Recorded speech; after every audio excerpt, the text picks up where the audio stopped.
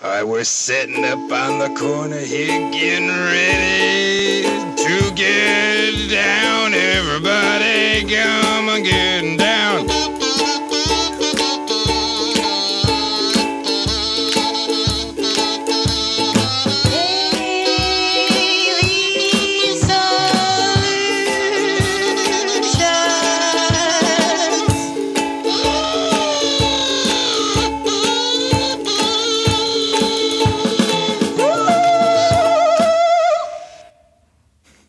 All right. Hello, Hey, everybody. Welcome. My name is Graham. My name is Ashkahn, and quick announcement before we get rolling today.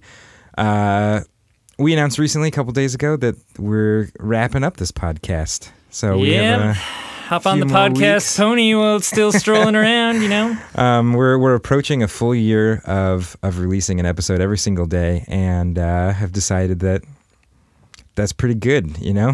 and um, we have another special episode. You can listen to it. uh, We talk a little bit more about uh, what's going on. But for your intents and purposes here, you should know that for our final episode, we were doing a live recording where you can be involved. Call in on the air. We'll have a chat. You can ask us questions, and we won't even have a chance to ignore them if we don't know what the answers are, like we normally do. People have been calling it the Float Tank Podcast event of the year.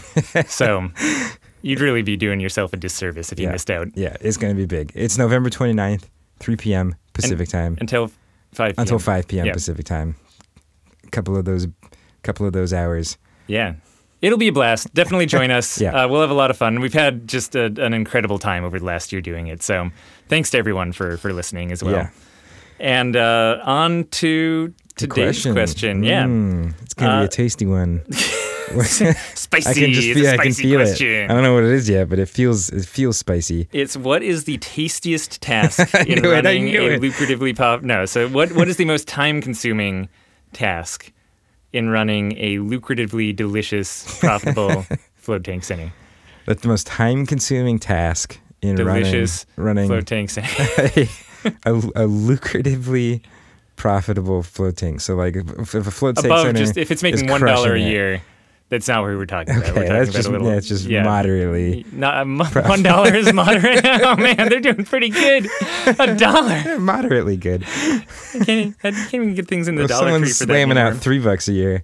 It's three times as moderate. Um, yeah, So, uh, probably recording your daily podcast is really time consuming. I mean, well, so to me, it's it's interesting because it depends a little bit on whose time you're talking about. yeah, like are we talking about like administrative tasks or running like running the center? Because I mean, just in terms of running a float tank center, like it takes us more man hours than e- either one of us has individually in a day to run our float tank center, right? We like Well, staff two here. people at a time. if if they are in fact running a lucratively profitable float center, then probably they have enough money to take themselves out of And the staff is and the running staff the is running things, right? So logically, we can we can go to more of a like higher level. Yeah.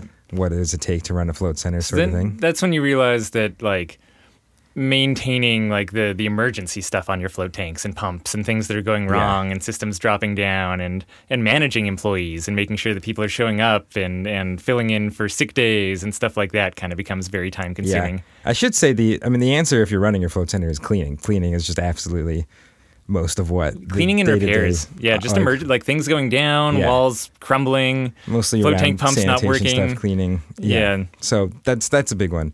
If you're working day to day in the center, Yep. like our our staff is even while people are floating, they they still have a ton of cleaning stuff to do. Yeah. They're not just sitting Yeah. around doing nothing. So there's plenty of plenty of cleaning to go around.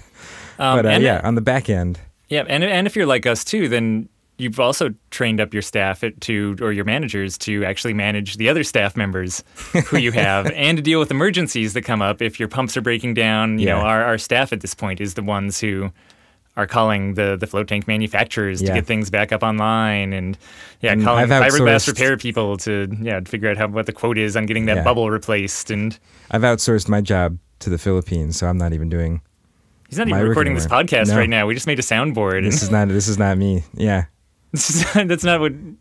You, this is not Ashkahn, is what you should right. say. Yeah. of course. Good one. Um, so, I mean, after that, I think like so a- after the people, then and emergencies. I Emergencies really like it's where like one of the things about running a float center is that yeah, there's always emergencies. well, it's, it's and it's because your entire business is reservation based. So as soon as something goes wrong, it's like it's immediately an emergency. You Yeah, know? yeah, yeah. Like if something goes wrong, and almost always if something goes wrong with the float tank, it means you can't run floats in it. yeah, Like there's so many pieces of a float tank that just them breaking means that's it, game over. Like you can't run any floats anymore, and that means it's an emergency right now. Like in 15 minutes, someone is expecting to show up to to float in that float tank. So that's that's why I think it can become a really uh, time-consuming and stressful part of running a float center. Is just because it like it, it can happen spontaneously, and as soon as it happens, you kind of have to drop everything and, and go deal with it. yeah, yeah, for sure. Um, and I feel like they happen more so in our business than in other in other businesses. You know, uh, yeah, trying to get to absolute nothing is such a challenging thing that yeah, if like you have a small clicking noise and you're like, this is an emergency, we can't run floats. The tiny clicking is too loud. You know, uh, there's just very yeah, very few other businesses that have that level of meticulousness. Uh, I, yeah, I think after that, the big category is marketing For sure. you know, and that's something that we still spend uh, a decent chunk of time on. But you know, uh, Facebook ads don't plan themselves, as they say. the old saying goes, and it's just like so much of good marketing involves hustle. yeah, and a lot of community outreach. You know, finding different groups who would benefit from floats, giving out free ones. Um, yeah, just making kind of cool alliances with other businesses around town, setting up barters. You know, just like getting yourself known and, and building brand awareness in your Yeah. community is no small feat. It has to be managed. If you're doing things like that, you can't just come up with a good idea and expect it to implement itself. Like it like a lot just goes into taking an idea and, and actually dealing with it existing in the world and keeping track of what's going on and having to create the materials for it and having to make sure that people are actually responding correctly and having to alter your plans as you start to get real world feedback and all that sort of stuff is what goes into what goes into marketing. Yeah, and then yeah, tracking the results, um, adjusting your marketing campaigns to get better ones, and if you want to start testing things and doing A/B testing, which we'll link over into the show notes, another episode where we talk about that. All of a sudden, for every marketing campaign, you have to design two of something, so you can actually test them against each other. So, yeah, it can get it can get really time consuming. Um, I mean, to me, that's I mean, this isn't very different actually in a float tank center, maybe minus the emergencies, than a lot of other businesses. It's just like the day to day being on the ground, being in the shop, dealing with customers, cleaning, just all the activities needed to keep a shop going is the most time consuming, and that's why it's what we outsource as business owners. You know, early on.